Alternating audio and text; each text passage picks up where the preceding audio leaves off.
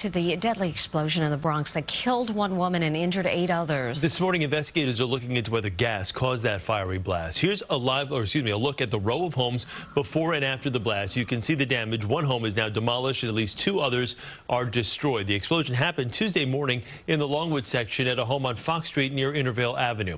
We'll have more on the victims coming up in a moment, but first, CBS News' John Dias joins us live from the scene with the latest developments this morning. John. Chris and Mary, police are not letting us any closer to the scene than when we're standing here about a block away, and that is due to safety reasons and also because the police investigation, it is still ongoing. But as we zoom down the block here, uh, you could see the scene right here behind me, the rear of the scene. You can see what was once a building, now a pile of rubble. Three other buildings were damaged, and this morning we were told the victims who survived and were taken to the hospital are expected to recover. Looking like a scene out of a movie, exclusive video shows a powerful Bronx explosion that sent debris from a building on Fox Street flying in the air and rocking this entire community.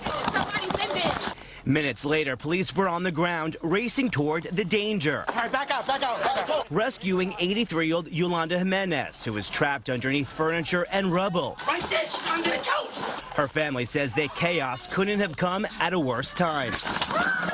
One, two, let's go. Get her over the couch. Since she was home recovering from a recent heart attack. It's, it's not easy, you know. This isn't easy.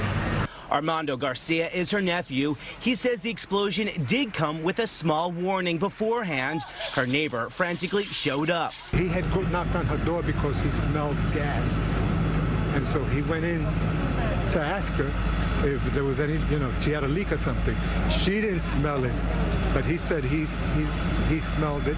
And then what, they sat down, they were talking, and when they were talking, I guess that's when the explosion happened. That neighbor is captured on video alerting officers. There was no hesitation. They ran right in.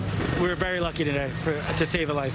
But eight people, including five officers, were injured. They suffered smoke inhalation, and tragically, a 77-year-old woman did not survive. Authorities have identified her as Martha Degbasta. Neighbors say she lived here for years, and the loss is devastating for them. There were two sisters from the fire building. Unfortunately, one of them has uh, succumbed to the injuries and has um, has passed away.